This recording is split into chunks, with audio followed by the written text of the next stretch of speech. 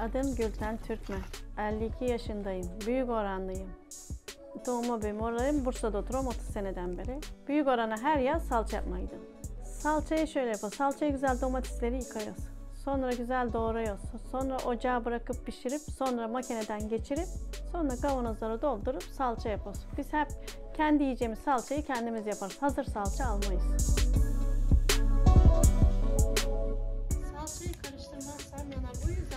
Karıştırmak isterim. Kaynayana kadar karıştıracak.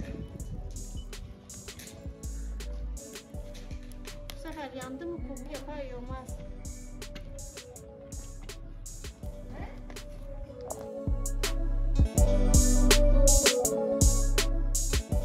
Eskiden kavanozlar yoktu. Eskiden güneşe koyduk.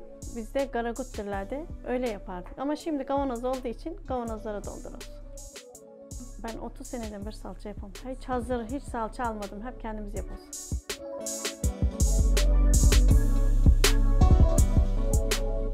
Bursa domatesin salçası daha çok duruyor. Bizim kendi domatesimiz tatlı olur ama sulu olur biraz. O da olur aynı hesap ama öbürkü Bursa domatesi daha güzel durar. Salça daha çok olur. Ama öbürkünün de lezzeti daha başkadır. Temiz yaptığımız için kendimiz bile bile her şeyi görüyoruz. Yaptığımız o zahmete katlanıyoruz. Ama bir senede yiyoruz. Biraz zahmetli iş ama kalabalık oluruz. Kendi aramızda kardeşlerimle, ablamla hep beraber yapıyoruz. Hem bizim meşhurdur. Salçayı hem yaparız, hem çay yaparız. Üstüne ekmek üstüne döker, zeytinyağlı yeriz.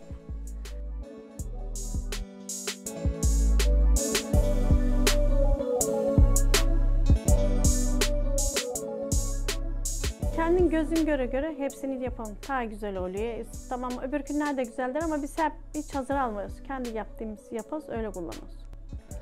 Bizim kendi domatesimiz daha tatlıdır, daha güzeldir. Ne kadar sen hazırlar da güzel oluyor ama kendi yaptığın gibi olmayı. Hem gözün göre göre tertemiz, daha iyi oluyor. Bu yüzden biz hiç hazır salça almayız. Tabii ki kaybolmasını isterim. Çünkü hazıra yüklenmek bence iyi değil. Biz ama yeni nesil de yapan da çok. Şimdi yapan oluyor.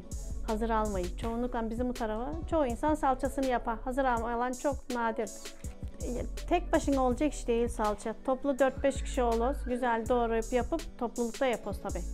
Hem çayımızı içiyoruz, hem keyfimizi yapıyoruz, hem salçamızı yapıyoruz. Her işi bir yaparız. Tabii ki isterim. Kendin gözün göre bak daha başka. Bence yapılsa daha güzel bir şey. Tercih ederim herkesin yapmasını. Yok herkes kendi yiyeceği salçayı yapsın bence. Gözün göre göre daha temiz, daha iyi. Bence daha iyi olur.